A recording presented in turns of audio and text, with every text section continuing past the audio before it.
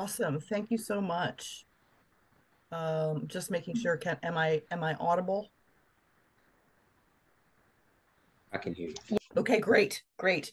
Um, welcome to, uh, we, uh, we were just joking about, some of us about being, this is my first official back to school event. So, uh, well, if this is the same for you, welcome. uh, we have a slide show. If you'll just give me one moment to get this up. Okay.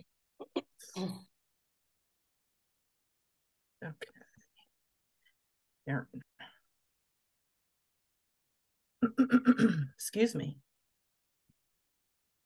So we are, um, it's, I'm Daisy Levy and uh, my co-facilitators, co-hosts are Jermaine Jones and Kimberly Ross. We are all uh, faculty in the Writing Studies program and the Department of Literature. And um, we are also all on the, sorry, you see me multitasking. We are all on the Writer as Witness Committee, um, which is a committee that's formed to uh, sort of uh, orchestrate and administer this whole uh, this whole program, this Writers Witness program. Um, and as many of you or you all probably know, our book this year is Isaac Bailey's Why Didn't We Riot? A Black Man in Trumpland. Um, and just briefly, I want to there we go. Um, give you just a little bit of information. Some of you already know about the Writers Witness Program. Some of you may have heard of it, but don't know very much. So I just wanted to share a little bit about it. Um, it's uh, it's sponsored by the Writing Studies Program. Um, it's you know modeled after one book programs or community read programs, if you're familiar with those, in which an entire community is tasked with reading a particular book and having discussions and various events around that book. Um, the te the text, the way we select the text is a long and almost a year long process. We solicit nominations from our colleagues, both within our program and across uh, within our department, but also across the College of Arts and Sciences, and then other colleges, all the other colleges at AU as well. So we get input from all over the place. We have um, input nominations come from students, they come from faculty, staff, senior administrators. Um, and then we we have a quite a sizable list of nominations. So our next task is to whittle that down, and we have various criteria, um, things like it must be a nonfiction book, it must be incorporate research in some way. Um, it does not need to be academic research. Uh, it must be on a, an, a topical issue, a recent and topical issue, and we have to be able to afford bringing the author to campus. That's the the la- the one very uh, pragmatic criteria. Um, and then we so we go through a series of whittling down. Um, then the committee we get we we had a first run at a short list. We read the books, we talk about the books amongst ourselves in the committee. We whittle that list down to a, an even shorter list, and we bring that back to our department for a vote, um, and also to to deans of the colleges. So it is a it's a representative vote,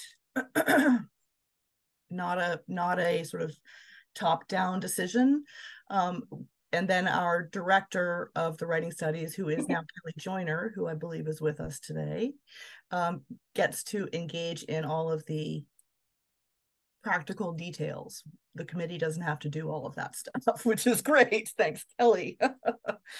Um, so that's the that's the selection process. Uh, once we have a book, students, incoming students are um, sent the title of the book and are able to get get a copy of the book at a discounted rate through the campus bookstore.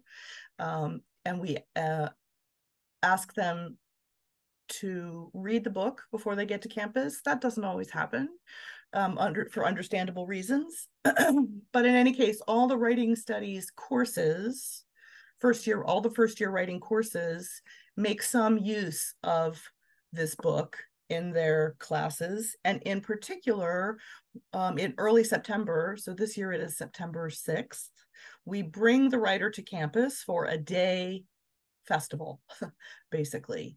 Um, they meet the the writer meets with faculty, they meet with the honors program, and then in the evening there is a um, full, uh, a large scale interview and q&a session with all first year students anybody or anybody who's in writing 101 102 100 sorry 103 104 106 it's a long list of writing courses. Um, and that is uh, one of the highlights i will say for sure. It is often one of the first times that these uh, students are in such close proximity to a published author. They get to ask questions. Um, they get to hear a writer talk about their own experience, putting words out into the world. And that is um, always really uh, really exciting and gratifying not just for us in the writing studies program but for students.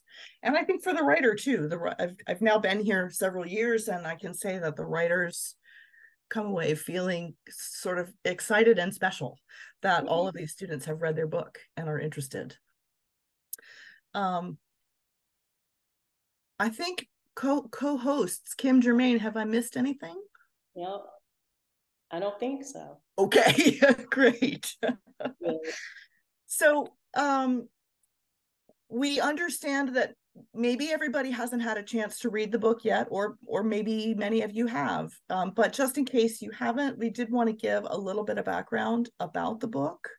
Um, and rather than me reading the slide, I'll just um, I'll just say that uh, Mr. Bailey is a um, widely recognized writer, journalist, teacher, leader in various communities.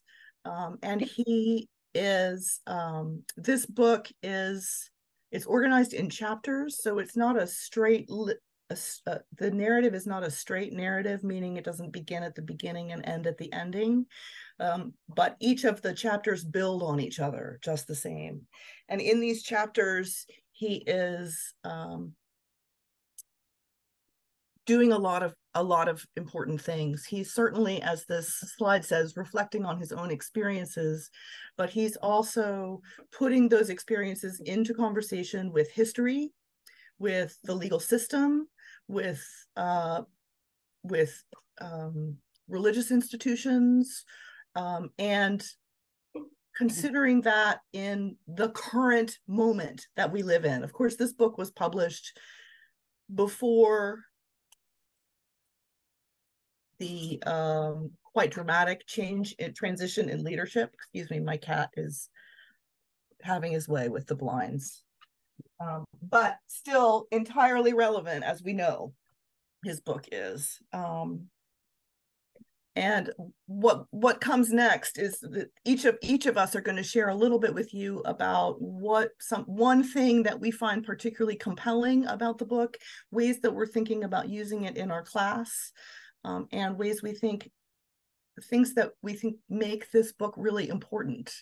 So I'm going to stop talking now and turn my microphone, as it were, over to Kim. Thanks, Daisy. Good morning, everyone. Um, I'm going to try to move through this as quickly as possible because I can talk about this stuff all day. Um, so one of the things that um, when Jermaine and Daisy and I were in discussion um, in terms of how we, going, we were going to present this information was, um, and Daisy helped me find language for it because my emotions were kind of all over the place in my thinking was all over the place and i'll go into that a little bit later. Um, but one thing that daisy said is i was articulating just the historical piece is that it is looking at the ways in which what we're seeing going on now you know is resonant of things that have happened in the past the events the philosophies of the past um, the the narratives of the past that have been constructed about black people and so one of the things that I think if we're going to talk about race in particular, um, for my students, I like to look at the origins of the construction of race. We know that race is socially constructed, um, and we know that there's pseudoscience behind that. It's grounded in pseudoscience. Um, and these um, ideas primarily really came into solidification during the during the Enlightenment. Were there those types of ideas going on before the Enlightenment period? Of course. You could look at things like in, in Spain, the Spanish Inquisition. You can even look in the colonies, or not even the colonies, before colonization. You can look at the treatment of indigenous people um, by the conquistadors. Um, but when we're talking about racial construction, the formation of that as a concept, we look to the Enlightenment thinkers. And so um, I teach a course on the rhetoric of the civil rights movement. And so last semester, what I had students do was I always have them read a text to ground them in some um, type of historical you know, um, lens. And so um, I had them read um, the Enlightenment chapter from Stamped from the Beginning by Ibram Kendi. And students were, for lack of a better word, aghast. And maybe I could add perplexed. And they're like, how is it that this time of revolution, you know, in looking at the ways in which the natural world worked and the social world worked and politics, all of that, um, and these discoveries. How is it that people that we look up to, the Immanuel Kants, the Voltaires, the um, Carl Linnaeuses, how are these the people? How, how are these people constructing these ideas about power and, and dominance. And so that is something that I start with. Um, I was actually reading something from um, Emmanuel um, Eze, who was a philosopher um, at DePaul University, a Nigerian philosopher. And he was, um, he wrote a book, it's dated now, on Kant. Um, and it's uh, looking at Kant's philosophy um, through a moral lens, and it's called A Critical Reader. Um, and Kant has a section on race in that particular um, chapter of the of a particular chapter of the book. And in it, he gives his anthropological breakdown of um, this hierarchy. And um, of course, he has Europeans at the top. Um, then he has what he calls Orientals or Asians. Um, sorry. Then he um, talks about um, indigenous people. Then he talks about Black people. And Europeans, of course, are folks of reason. They're folks of light. They are folks of morality. All the way at the bottom, Black people, people who should be trained and the ways in, they in which they should be trained is through um, whippings. Um, we have thick skin according to Kant, so therefore um, whips should not be used on us, but split bamboo um, to break through that skin. Um, we are lazy, we are ignorant, we show no signs of any intellectual capacity whatsoever.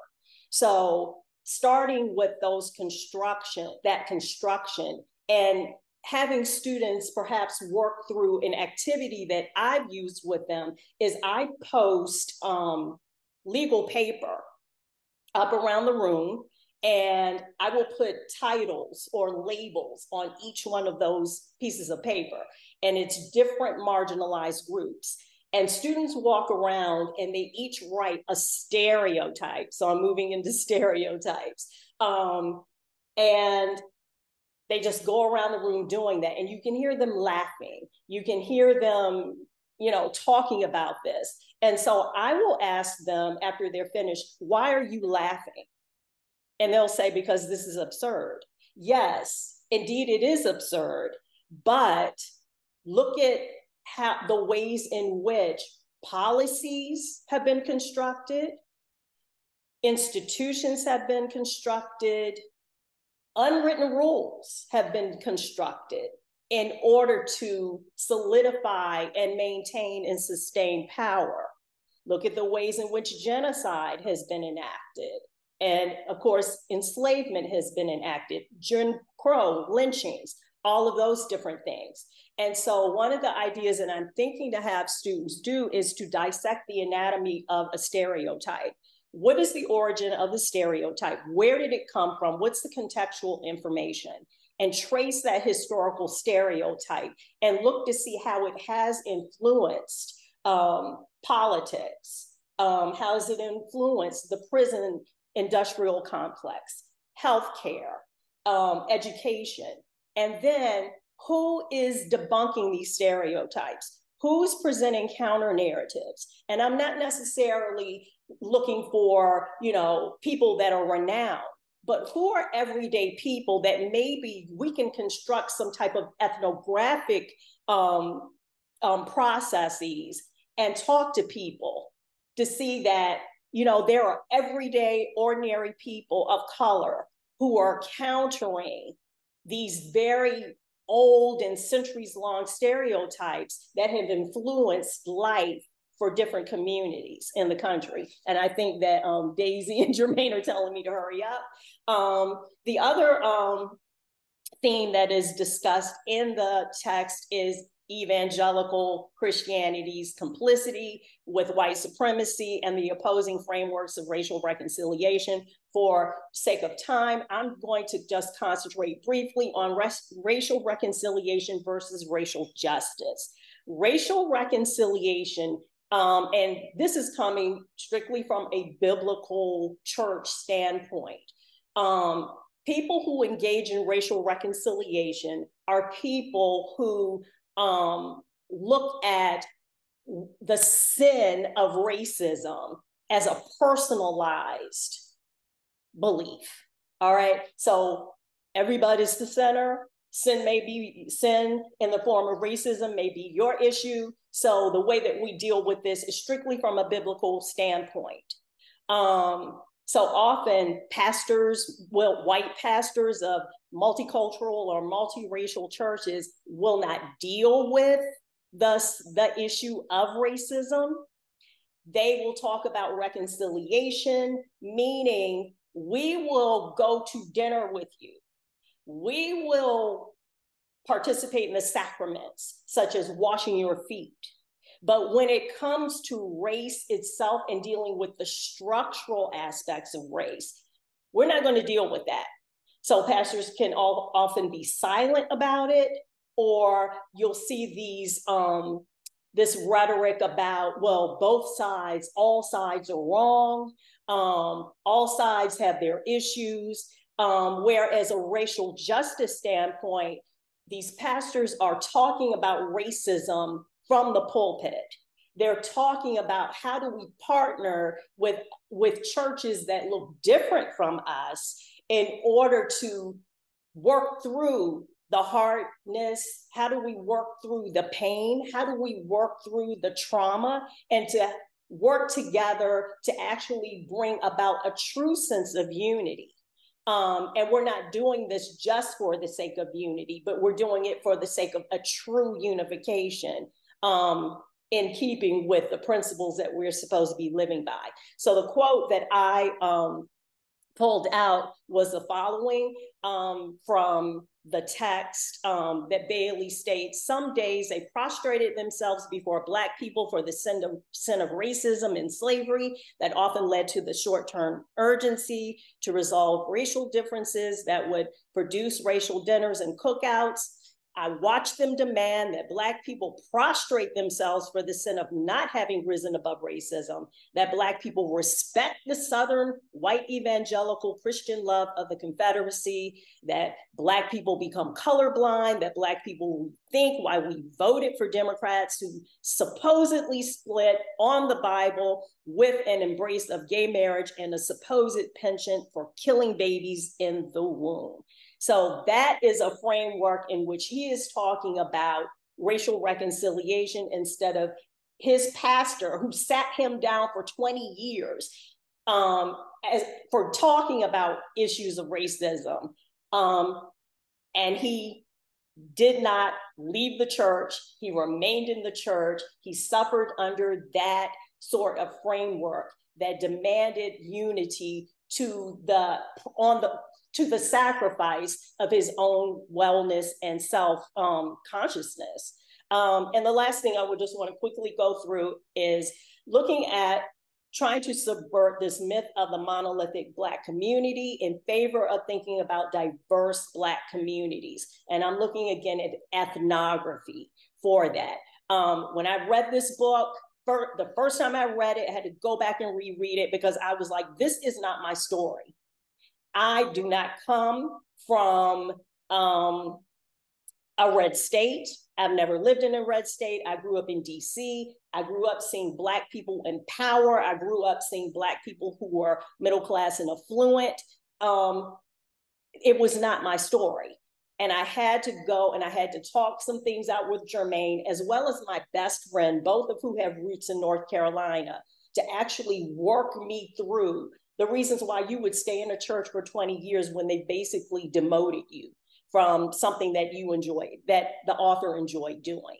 I had no idea. Um, and it just goes to show that although people stereotype Black people is thinking in one way or existing in one way, we exist in so many different ways, in so many different narratives, and we have so many different stories and backgrounds. So I probably talk too much. So Thank you. awesome. Thank you, Kim. I don't think you talked too long at all. That was really great. Um, and in fact, what you were just talking about transitions really nicely into the way I wanted to um, share with everybody here today. So I I I come to this to this book and to this uh, workshop from my own particular position as a white woman um, who is committed to anti-racist and social justice initiatives and practices, um, but who is always always learning um, and um, I want uh, you know I have I have a whole lot of thoughts about this book, so I'm trying to um, keep myself sort of organized here. I I one of the things that is important to me about this book, which I already mentioned earlier in my very rushed introduction, um, is that this book is kairotic, absolutely, in terms of um, uh, where we are today in this country, and um, you know, I I I don't want to rehash all of the all of the things that are happening, but the ways in which um, a reckoning with American history is being criminalized in public schools and in colleges, the ways in which uh, diversity and diversity, equity, and inclusion initiatives are being defunded at universities are being um, that professors tenure is sometimes at, at risk in other universities. And here at american university i think we are really i am really grateful to be in a university that is not in that kind of a situation. Yet the landscape in which we are immersed is fraught. Um, and i think that is uh, i feel a deep and uh, I, I guess the the word I the only word I can think of is a kind of urgency about bringing conversations, having these conversations publicly and in classrooms because I have colleagues who cannot. Um, so that's that's my that's a sort of a brief position statement on where I'm coming from. Um, I also, you know, I also think that um, part of our job well uh, part of our job in first year writing certainly um, and all of our jobs teaching undergraduate students is uh, to to um, cultivate people who can think hard who can think in difficult ways and um, in embrace ambiguity and to um, make sense of a really a very complicated world. The world is always complicated. There's nothing about this particular moment that makes it more complicated than other times, but it is it is certainly complicated in ways that I did not experience growing up in the 70s. Um, that's which is that's another story and I could end up on a tangent there. But uh I, you know we we chose this book um for all of the reasons that I said above or before but i but it's also really important to me that we are reading books that are test in some ways testimony from people who are not like me. I know what i think. Um, that the whole the whole premise of writer as witness is that uh, everybody witnesses everybody sees things and everybody has something to say about those things. And isaac Bailey has things to say that i need to hear. Um, much you know much of what he's talking about like him saying is not necessarily they're not necessarily things that surprised me in the abstract. Um, but they are things that troubled me in the personal you know that this is this this is all his personal experience. This is these are these are dreadful dreadful experiences to live under. Um, and um, i need to learn from his experiences and his stories.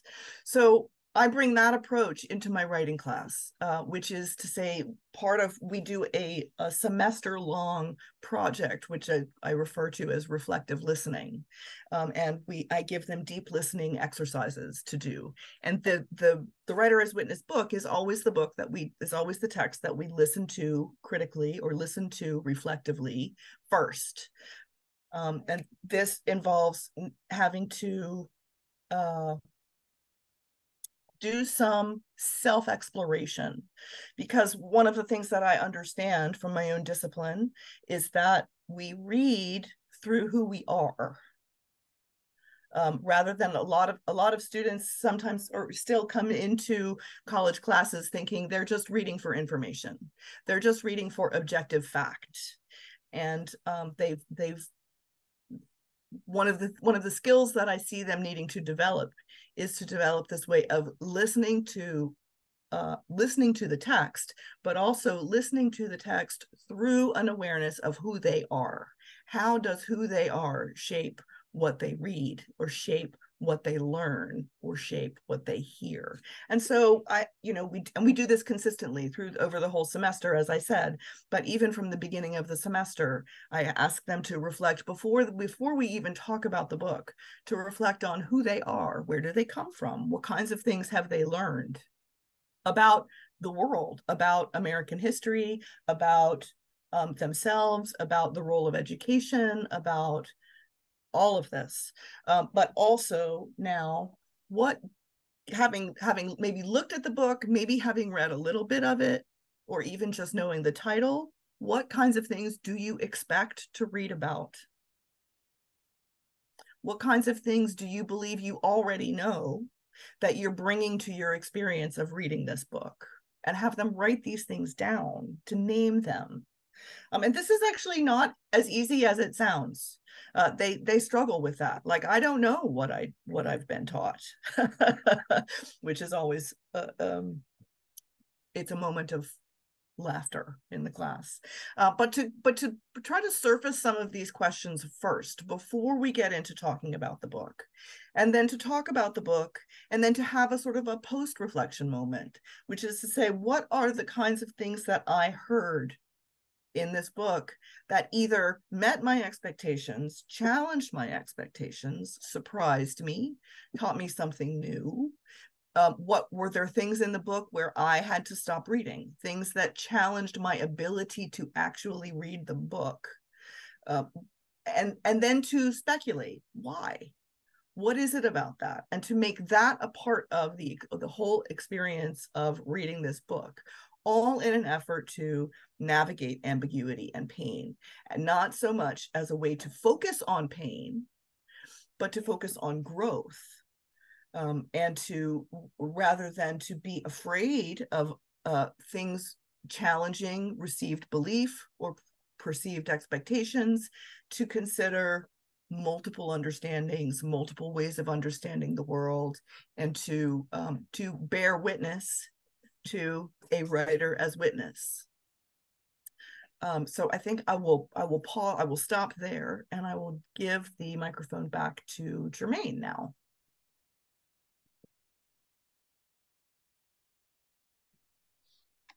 Good morning, everyone. Okay, so I'm actually going to start here first. Um, I have a few things to get through. I won't hold you guys hostage. I just want to make a few points um, and just talk a little bit about the text and the way that I utilize the text within my my courses. Um, but I want to start here first. Um, you guys can just drop a brief answer in the chat. Do any of this these words, these phrases look familiar? And if so, could you just in the chat, just drop something um, in regard to what these words, the bell they ring, or have you seen them? Do they look familiar? Uh, let's see. Absolutely. So, absolutely. Uh, author says uh, that they're part of AU's value statement. Absolutely. So, I'm on, I'm actually going to start here. Right. This is I think this is important when we um, decide to engage in tech. So the words here on the left are the mission, right? To advance knowledge, foster intellectual curiosity, build community, empower lives of purpose, service, and leadership. And on the right, it's the institution's American University's uh, values: integrity, excel- excellence, human dignity, community, diversity, equity, accessibility, DEI, basically DEI, um, free uh, inquiry and thinking was seeking truth basically and impact. Next slide. So I believe that those are the things that um, we need to think about as we potentially shape and mold our pedagogy, our our classroom assignments, right? Um, and also based upon what we just read, that information um, to me um, basically validates why we need to be focusing on a book such as Bailey's in the first place and other texts like it. Um, so I just want to go through just just just mention a couple things to why this piece is important and just society we live in today. So in my classes, I give a lot of analogies. And one of the analogies that I give is I tell my students that Black literature is the defense attorney for Black culture, right? Um, and I say that because Black literature, in the written and in the vernacular form, right, the music as well, is basically um, it allows for Black folks to, to, to, negotiate their oneness, to negotiate their worth. It's been like that decade after decade.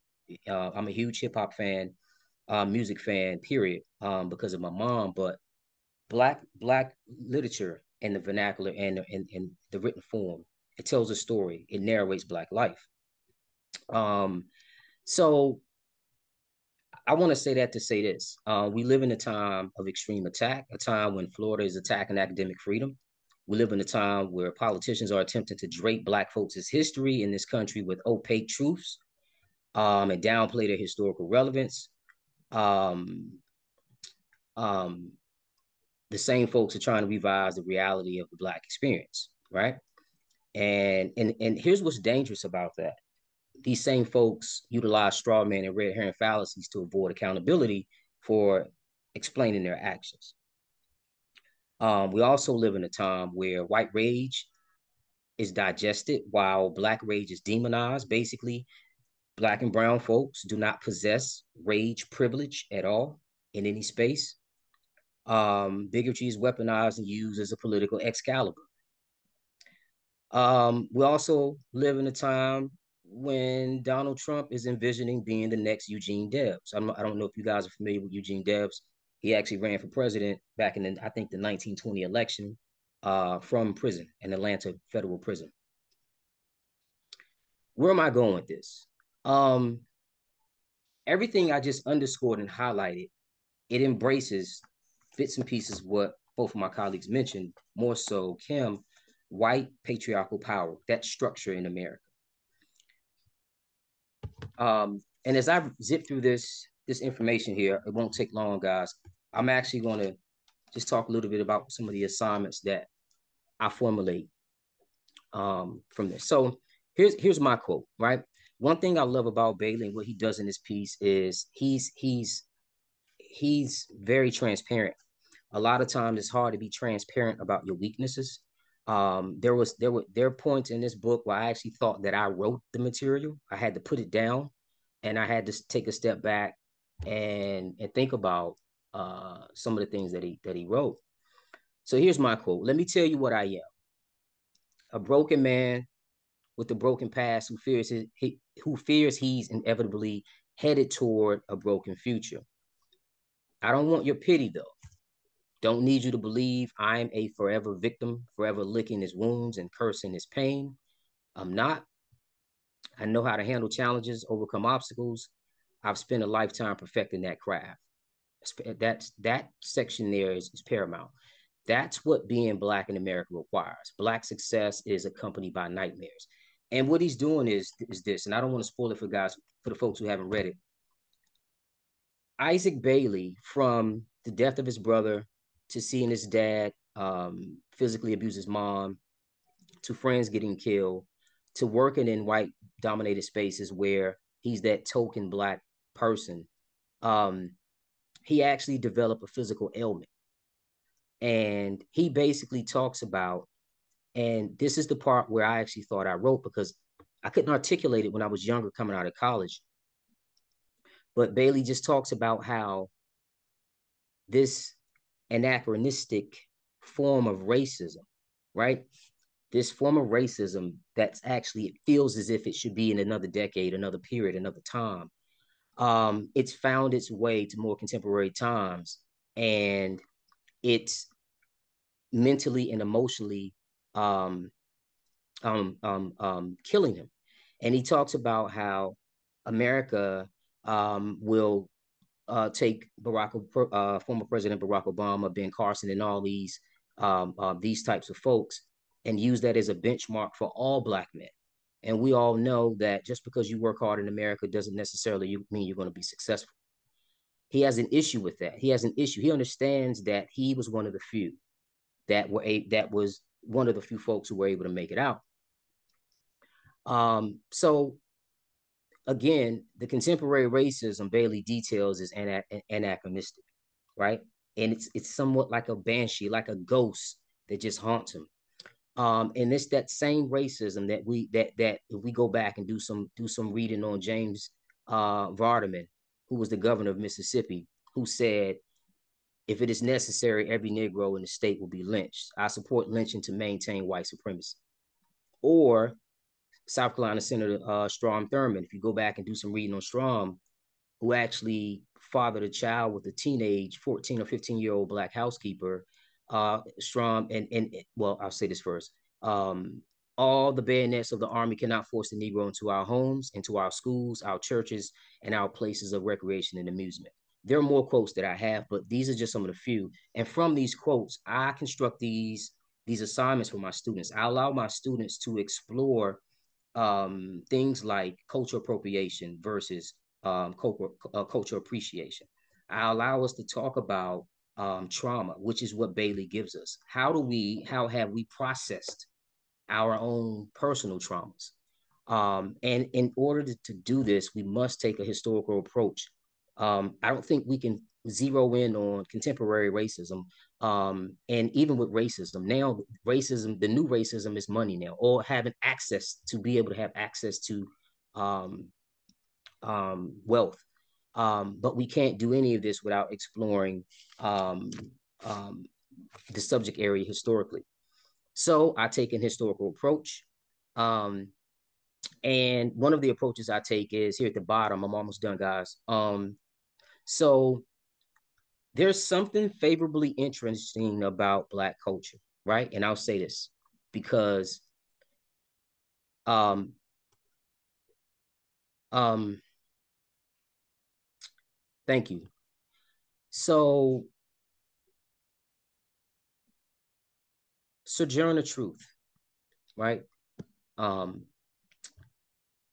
Bell Hooks, Frances Welsing, James Baldwin, Brent Staples, Daniel Black, Claude McKay, Paul Butler, and Charles J. Jones. Um, here's what I want you guys to hear, right? Let me pull this up. So I apologize, guys. My my my. Oh, here we go. All right. So there's a part of what Bailey gets into that's vital, and it's the and this is something that um the, the book that I'm actually finishing now, I've been doing research on this maybe the last three years, right? And I wanted to take this approach. Um, rarely do we talk about the psychological effects of subjugation. Rarely do we talk about the, the emotional and the health issues that come from being subjugated year after year after year after year. I tell my mom, you know, um, so there's a huge portion of my family um, uh, don't eat pork. I'll put it that way. And I tell my mom, like, you know, um, her ancestors and her uh, older aunties and grandmas and things like that. I was like, well, I don't think everybody passed from high blood pressure, right? You know, they eat that pork in the Bible Belt. Um, and I get into this whole thing about this approach where um, being scrutinized um, and being um, subject uh, subjugated to less, it wears on you. And there's research to to, uh, to support this. So that brings us to um, this historical approach. And I just want to touch a little bit on what I want to reinforce what Kim said about the evangelical Christianity traditions. Bailey gets into this whole thing in, about Christianity in the South. And I don't know, um, I'm originally from Washington, D.C., born in D.C., lived in D.C., but I ended up moving to North Carolina later. And I had to find out that Christianity in that Bible Belt is a little bit different than Christianity in the North. Folks take it seriously. Okay. Um, but the way that he describes this evangelical Christianity and, and the way that Kim framed it, um, Kim hit the nail on the head. So Bailey just gives us a glimpse at this form of Christianity, the traditions, and how the traditions mimic the culture around white America.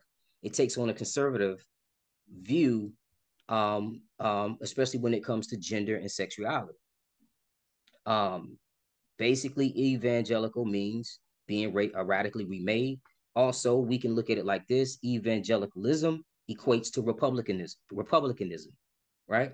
And we know these two forces create a movement that is not about politics or religion, but about about white patriarchal power. Where do we, we see this also in Hollywood? If you go back and do, and this is something that my students we, we deep dive in. I have my students to go back and do some mild research on the history of acting in, in, in Hollywood and how they wouldn't cast Asian men only um, black folks would only get cast for certain roles to perpetuate this stereotype. And this is the exact thing that Bailey's talking about. Um, um, and to, to finish off the piece about trauma, um, Bailey doesn't, and it's funny because Bailey and Daniel Black, Daniel Black wrote this piece called Don't Cry For Me.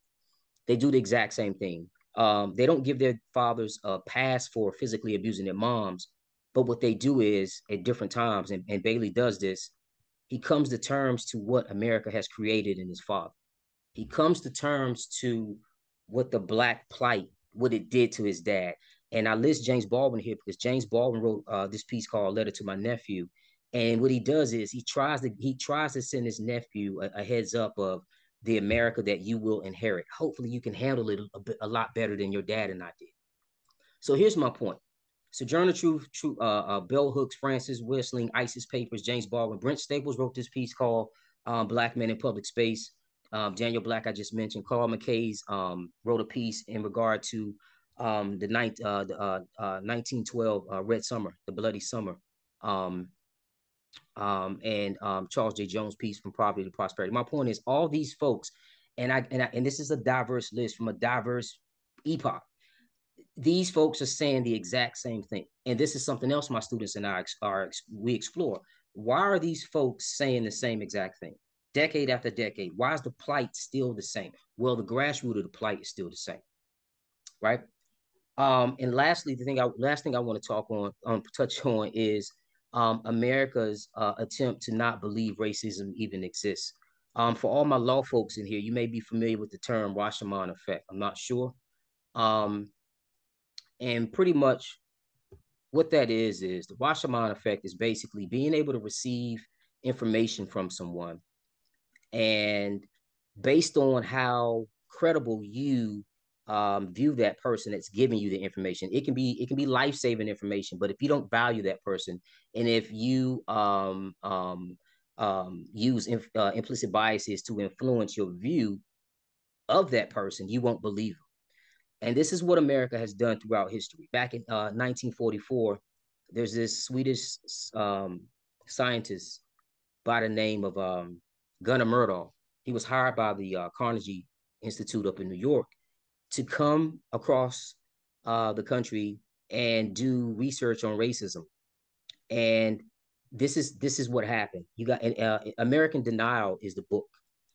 Um, so he had to become what he was exploring. And long story short, um, he the, uh, the, the title American Denial it basically comes from the contradiction. America presents this this this um, one door that's open, but when you go through the door, you see that equality doesn't exist.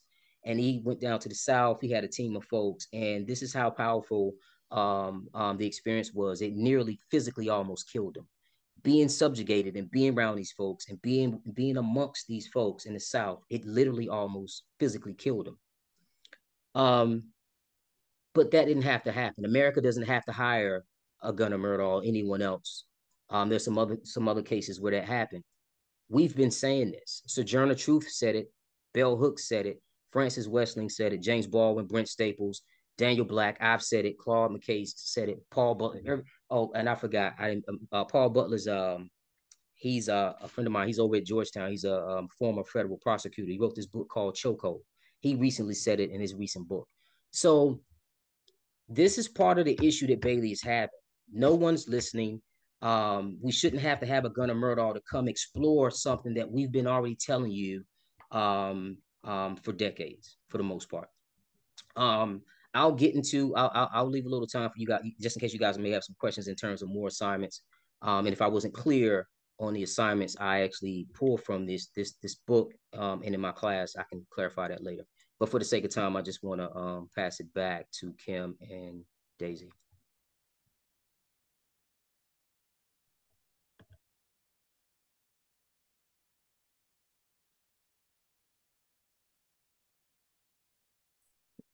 Kim, do you want to take us take us into the breakout groups or you want me to?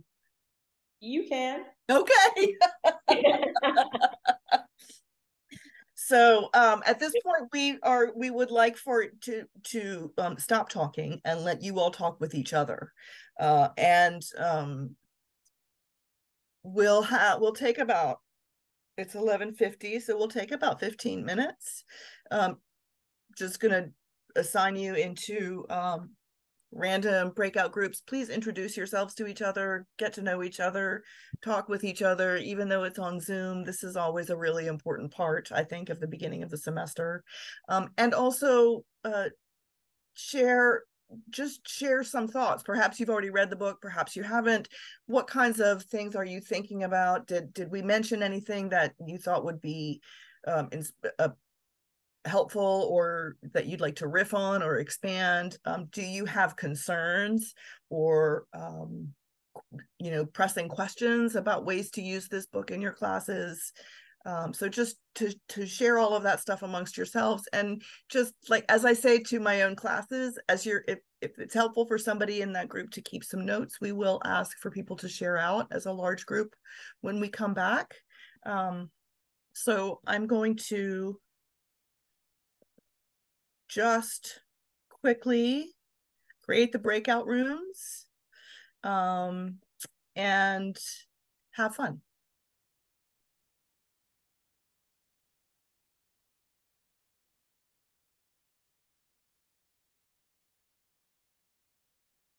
Wait, we didn't go to breakout rooms, did we? Mm-mm, no. Um, we we on advice from the CTRL folks, I did not include us in the breakout rooms. Um, if you want to jump into breakout rooms, you're totally welcome to. Oh, no. no. I'm going to stop sharing. I'll pause the recording as well. Thank you very much. I was just going to ask if I could do that. yeah. Okay, I think uh we have for the most part everyone back. Um so this is the time when I would love for for for you all to basically just share two aspects or two motifs from the text or just the discussion in general um that you think would be useful in your class or you can maybe some way somehow manipulate an assignment out of out of the piece or even just spark some very tangible class discussions which assignments typically lead or come or conceive are are conceived from class discussions so um does anyone want to just talk on or, or, mention a few motifs or um, assignments or discussions you think you can have with this piece?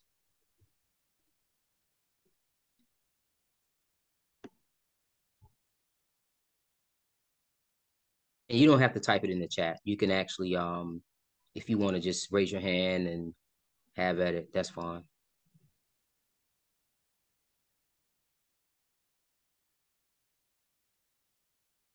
Gretchen? Uh, yeah, sorry. Uh, the, I always have trouble with the Zoom controls for some reason. You've been doing it for so long, and yet, um, no. Uh, I, I, one of the things that I've been thinking about is the I teach um, in the AU experience curriculum, um, and so one of the things that uh, one of the sort of key skills is of self reflection. Um, and one of the things that I've been thinking about um, was the way that the text, um, the little bit that I have read thus far, seems uh, also structured on a sense of this is a narrative that I told myself. This is a narrative that I told about myself. This is a narrative that I um, that um, I sort of believed in, um, and I have you know come to revise, rethink that um, for these reasons. And I just I found it um, you know I, I the, the as far as I've gotten is thinking about this as a useful model for that kind of self-reflection that doesn't just mean I'm the hero of my story. I am the hero of my story, but it has involved a lot of growth along the way. Um, and so and so I think that yeah, so that was just something that sort of uh, I, I thought about in in in in reading this um, and and through this discussion as well. I think that's so awesome. I'm sorry, yeah. I'm just going to jump in because that that lines up with the kind of work that I'm asking students to do in my own class, like to be able to sort of point to like, you know, uh, this is something else I think students often, uh, particularly maybe um, first year students or students who are just coming through high school, I and I'm making some assumptions which are deeply flawed, right? But that the idea of reflection is is um, sort of not fully baked you know like what it's not just looking back and recounting the past right it's it's right. there's the kind of interrogation or a, and i that's a that's an intense word to use but you know that's it's it's there's a there's a a kind of a change or an or an intentional intentionality it's just so being able to point to an example of a particularly complicated way of telling your own narrative. That's that's pretty great. There's something called um i don't know if i was talking to somebody about this or i read it i'm not sure or i heard it um and it's your for lack of a better term it's your racial autobiography where you you know you look at you know questions and think about questions such as you know did you talk about who are you first of all? Who are you? You know and how does that fit into um, things that you hear in the media? How did you talk about race at home? Um, did you see racial incidents at school? If so what happened how were those handled? Who was punished or penalized? Who wasn't penalized? You know, and it's really doing, yeah, that deep work going back to that whole thing we were talking about in while you were in the breakout rooms that deep story what is my deep story um um and how i i look at race and i look at my placement within race um, or am I even really seen at all because I am the norm? Yeah, I don't have to think about those things, you know. when I go into a meeting or I'm in a certain space. I don't think about those things, you know. Um, but who does have to think about certain things?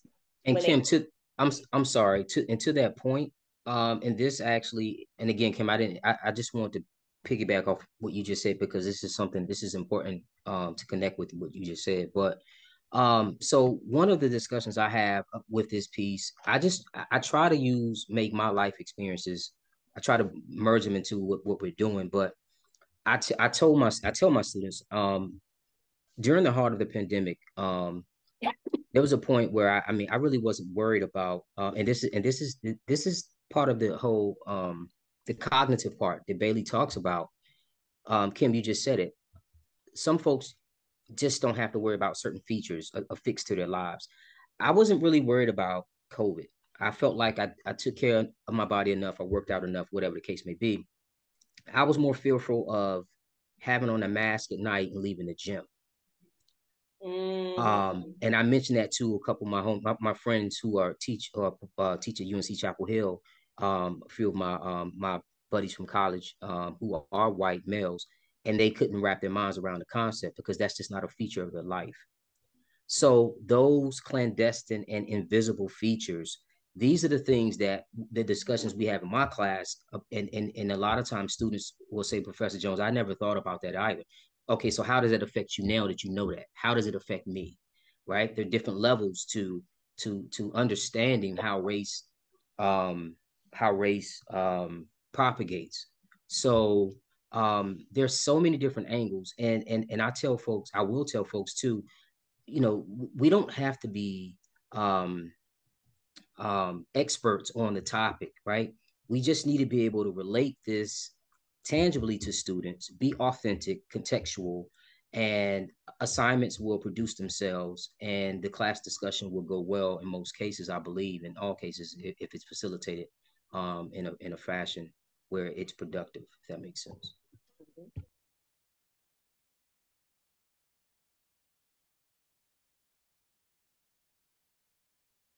Does anybody else want to share things they talked about in their group?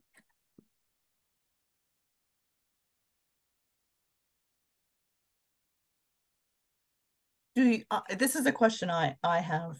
Do do does anybody feel nervous or concerned about having some of these discussions in class or ways to ways to incorporate the book?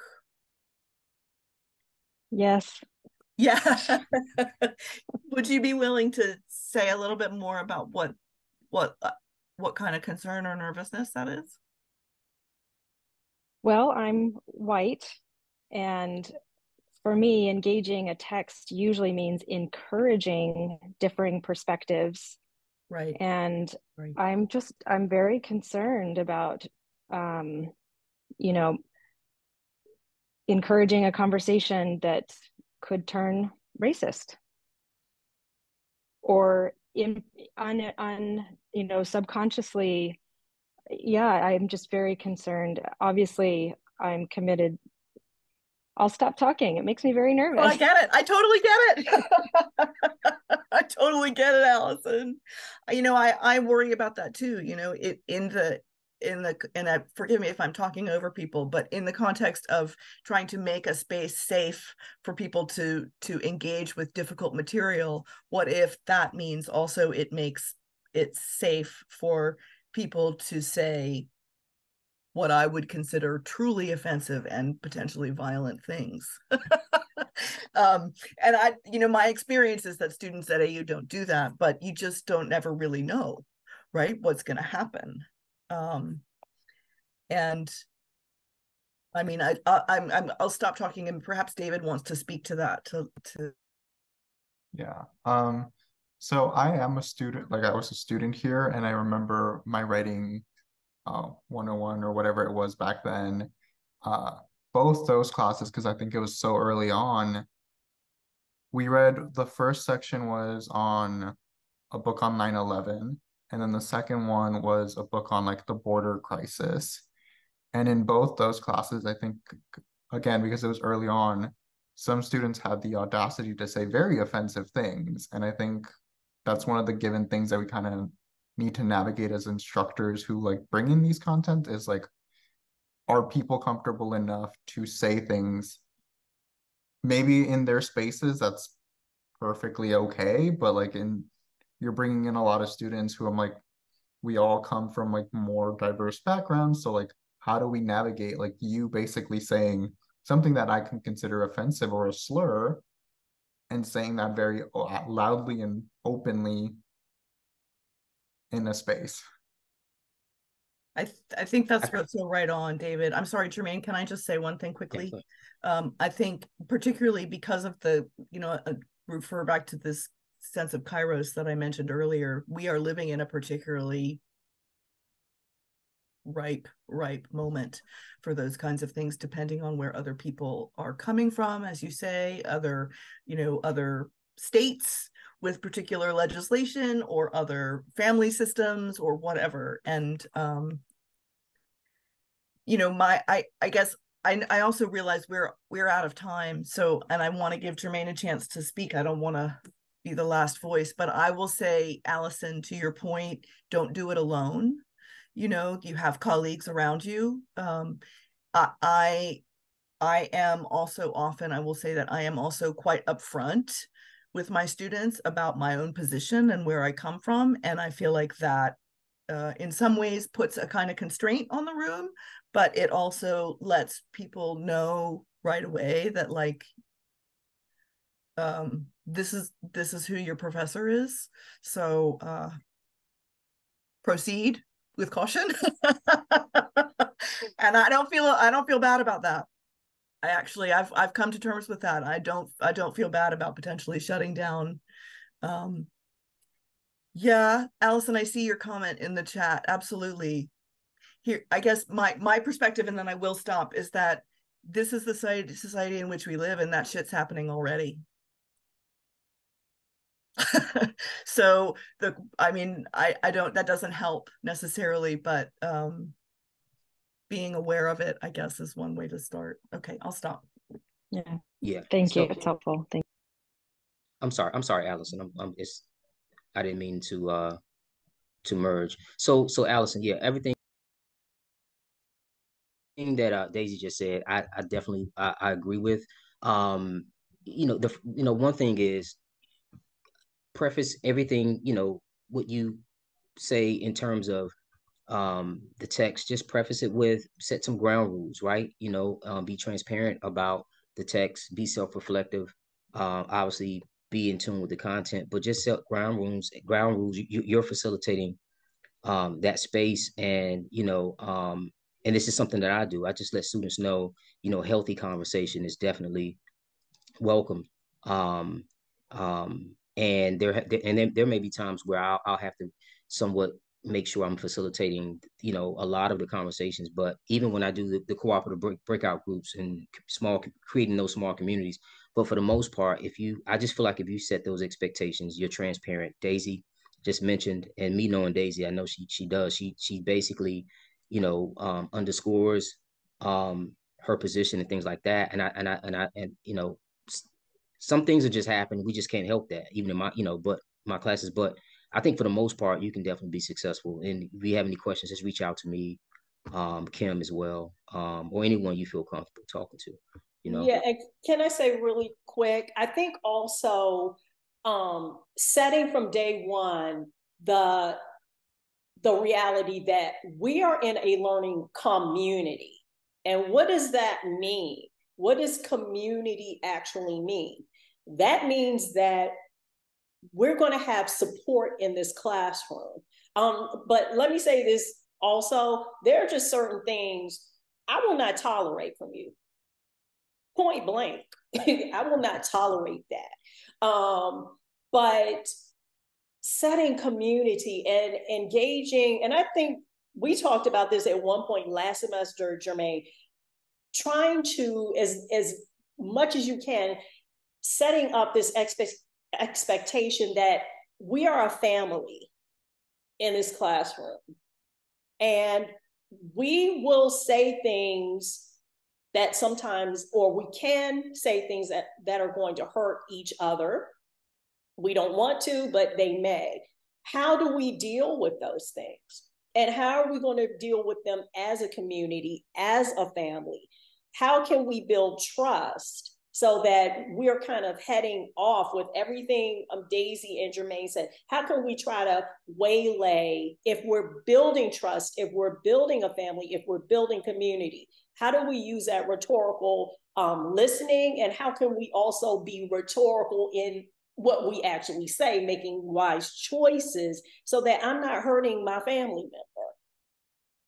So that's the way that I approach it, um, as well as setting those ground rules and holding students um, to ground rules that they'll even set. You know, how are we gonna how are we gonna navigate this? This is a tough conversation. We got people in Florida, people in Texas saying one thing. They don't, you know, you may come from those types of states, those red states, or you know, you may have people in democratic states saying things that are opposite or similar. How are we going to navigate these things? And let me say this: don't feel like you have to be perfect. Don't do it. Don't feel like you have to be perfect because I know I'm not somebody told me last semester I was being biased. And I was like, provide me with an explanation of how I'm doing that. None.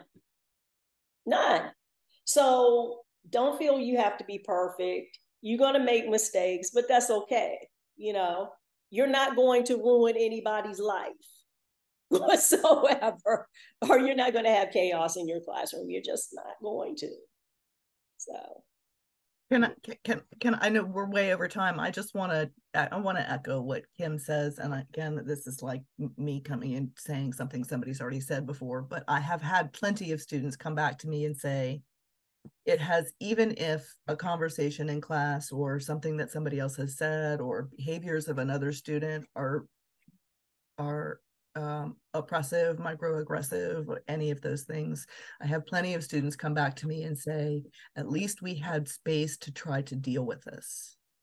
You know, that none of it, particularly my students of color, when uh, students of color, you know, none of this is new to them. These are this is their these are their lived experiences, and not only their lived experiences, but that uh, to to be in a position where at least it's talked about feels um it's validating and uh, I think I think I you know I really appreciate Kim saying you know don't it's you're not going to be perfect but that's we're not we're not you know? So